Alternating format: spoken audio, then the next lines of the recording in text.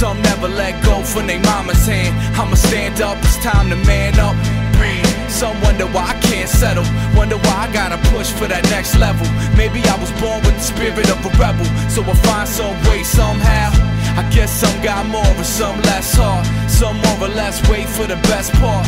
Some hold their breath for a fresh start. But it's all right here, right now. You ain't gotta be a robot. Think for yourself, fight for the soapbox. And forgive your fathers for they know not what they do if they only knew they might. We, we can take it higher than that. Higher. We, we can take it higher than that. Higher. We, we can take it higher than that. Higher. Take it higher. Take it. Take it higher. Come on.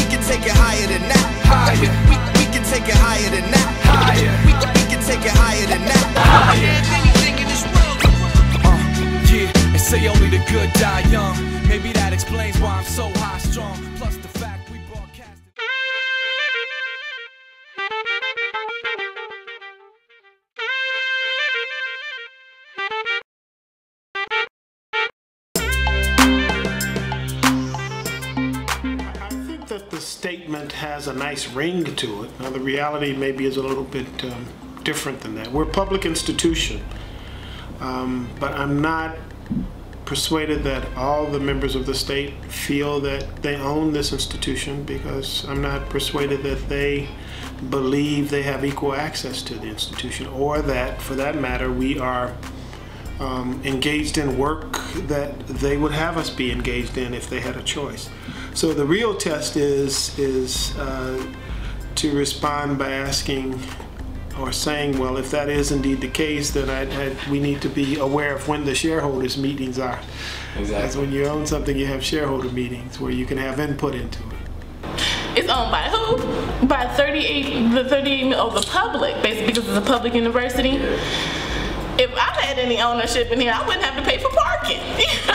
Saying? Like, I don't see, I don't see my name on any drive or any lot or anything like that. Oh, the owned. I think I think that is a blanket statement. With only 21% of the student, the freshman admits being underrepresented minorities, that's less than a quarter. You know, it definitely doesn't reflect the population that it's owned by. And so, I mean, that's a huge contradiction in our, on our campus today, here, now, UCLA. You ask anybody out in these communities that we're servicing, you ask them who owns UCLA. You can even ask a lot of these people on this campus who owns UCLA. Um, they're not going to say, I, I own it, or I'm a part of the ownership. They're to say, oh, I don't know, the government, or oh, the uh, legislation, or um, some other higher power. And that's really, that's really the problem with, with that statement, is it's either it's true and people don't know it, or it's false. You know, um, if it's supposed to be owned by everybody in this in the state, uh, it sure doesn't look like it. Um, on face value, just looking at the, at the population here and the, and the, and the, the ethnic makeup, um, and just you know spiritually, I don't I don't feel like there's this collective ownership feeling about on the campus or in these communities. So um, someone's wrong. I've heard that statement. I have a friend who, uh, you know, was diehard UCLA and now he's anti-UCLA sports. And, um, you know, and it's funny because when we watched the tournament, um, I understand why he's so anti anti UCLA because they play these advertisements and it's like that's not my experience. That you know, it's like a slap in my face. You know, so okay, the state of California, 38 million people. Um, one of the first states, I think it's state number two, Hawaii first, but the first state where it's majority minority state. Um, it's owned by the state of, you know, this school, this public institution is owned by the state of California. This campus does not reflect in any way, shape, or form the population of the state of California. I mean, there are students who are grossly over, there are white students who are gro grossly overrepresented and black students who are grossly underrepresented. And we're to a point now where, you know, we're not even talking about like exact representation. We're not even talking about the 11% that black people make up in the state or the 35% or that Latinos make up in the state. We're just asking for something close to that. You know, we'd be good with five or nine percent as opposed to one percent or two percent. I mean, we'd be good with 15, 20% as opposed to, you know, 10, 11%. So to say that, you know, this, this is owned by the state of California, well, then why doesn't it reflect the population of the state of California?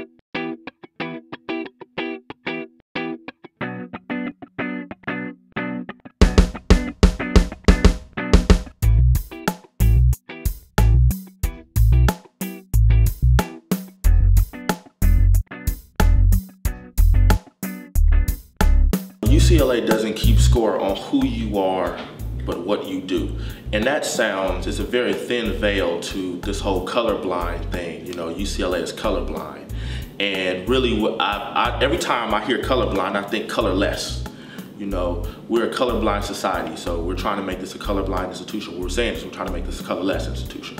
You, every, every time that comes up, you can just erase blind, put in less.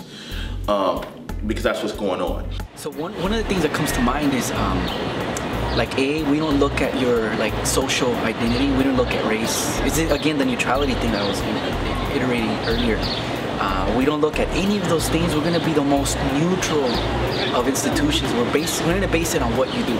And by what you do, if, if this is coming out of the horse's mouth of people here in the academy, um, that for the most part, signals and cues, it's based on your effort it's based on what kind of effort here, it's academic, your performance. Um, so if we're looking at students coming from high schools and we're told that, for the most part, the message, one of the things I'm reading is, um, regardless of your race, your class, whatever situation, it gets very it gets very tricky that statement. Because it's one of those statements I'm gonna say parenthetically that's also claiming to not be discriminatory right? So it's we don't look at any of that but what you do. So show us your grades show us um, your essay your statement of purpose Show us all those things based on that. That's what we're going to judge you on. you can't, yeah, I think the major issue is people getting accepted because people apply. I mean, I know people apply. People from my school apply. And a lot of them didn't get in. It's not their fault that they they applied. Like they need the issue of access is getting admitted. Like basically, I mean, in my neighborhood, in my school, everyone, a lot of people applied. Everyone was doing the UC application and um, I mean, they did what they had to do, but the problem was being admitted. So the, I think that the admissions department needs to open their eyes a little bit, actually a lot, because it's ridiculous. There's a lot of kids in my school who should have got in, um, who had done a lot more with their time in high school than go home and read a book and go home and do homework every day they had a lot more to deal with than just um, sitting there and doing taking 16 AP classes and just going home every day and doing homework. They play sports or they have a job or they have a lot of things going on within the household and yet they still had good grades but they didn't get into UCLA which is kind of BS to me. My reactions to that, that's just straight like problematic. For you to not consider somebody's identity and to assume that somebody's identity is detached from where they live, from their neighborhood, from the social economic conditions in which they inhabit, you're really creating some kind of um, uh, uh of, a, of, a, of an image that is unreal, unrealistic.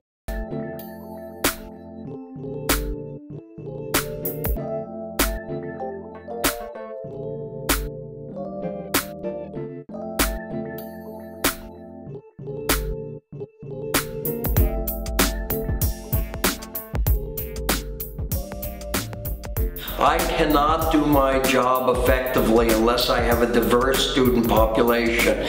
In my courses, I deal with things like art and film and literature and a variety of other forms of cultural expression, and I often raise issues of direct relevance to people in minority communities.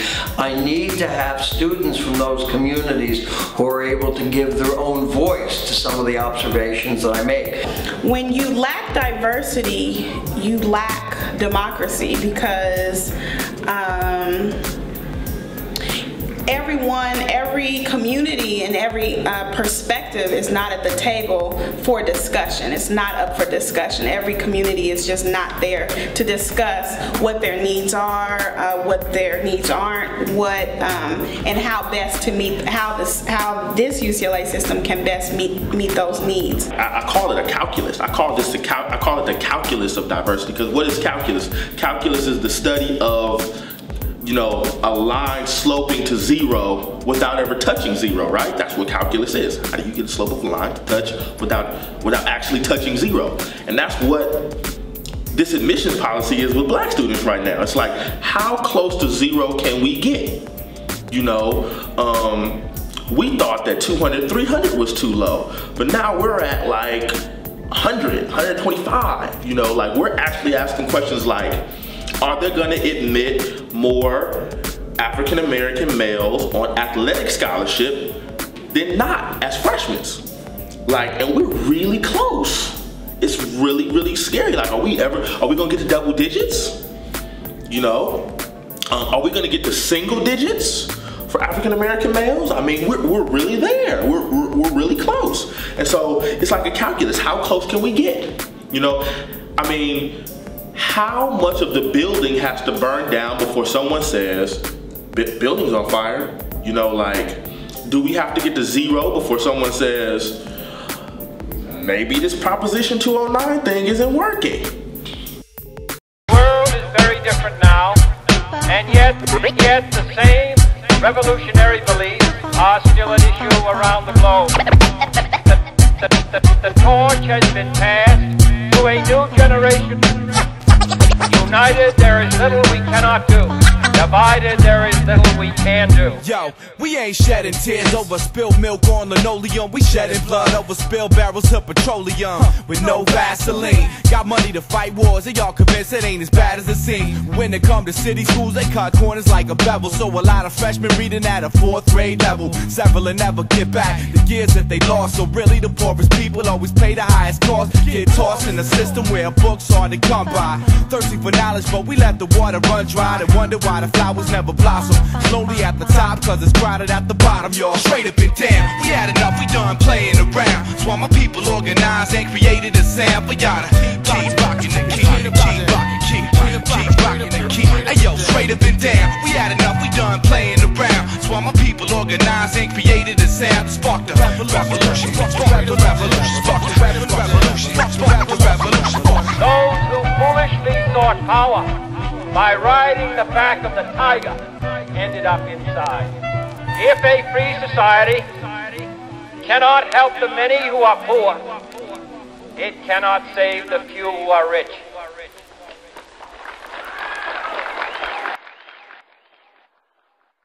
These problems are yours and mine.